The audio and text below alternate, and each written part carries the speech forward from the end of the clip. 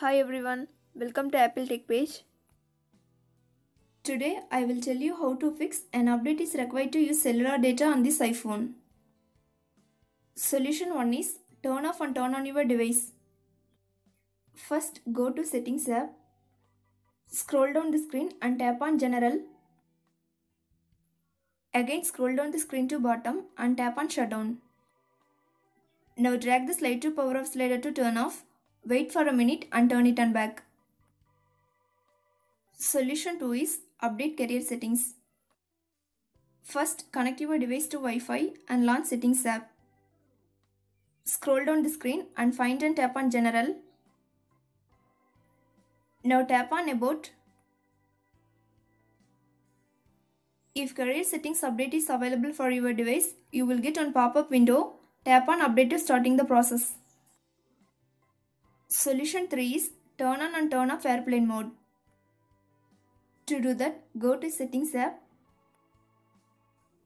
Now enable airplane mode and wait for a minute. Next, disable airplane mode again. You can also do this via control center. Solution 4 is remove and reinsert the SIM card. First turn off your device completely, then open the SIM tray using the pin. Next, take out the SIM card from the tray and just wipe out using cloth. Now reinsert the SIM card and turn on your device. Solution 5 is reset network settings. Go to settings. Next tap on general. Now tap on reset. Select reset network settings. Now enter the passcode. Again tap on reset network settings from the pop-up box to confirm this process. Solution 6 is force restart your device. For iPhone 6 and 6 Plus, press and hold the home button and side button at the same time until you are getting the Apple logo on your iPhone screen. For iPhone 7 and 7 Plus, press and hold the side button and volume down button at the same time until you see the Apple logo. For iPhone 8 and later models, quickly press and release the volume up button. Next, quickly press and release the volume down button. Finally, press and hold the side button until you see the Apple logo. Solution 7 is Reset all settings. Launch Settings app. Next tap on General. Scroll down the screen and tap on Reset. Now select Reset all settings.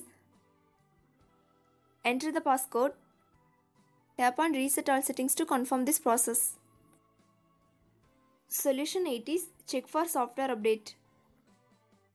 Make sure that you have connected your device to Wi-Fi. Then go to settings. Find and tap on general. Next tap on software update. Now tap on download and install if update is available. Solution 9 is turn off Wi-Fi calling. To do that, tap on settings icon. Find and tap on phone. Now tap on Wi-Fi calling. Then turn off Wi-Fi calling on this iPhone. Solution 10 is factory reset your iPhone. First, you should take a backup before starting this process because it will delete all the information from your device. To factory reset, go to settings. Now tap on general. Next tap on reset. Select erase all content and settings.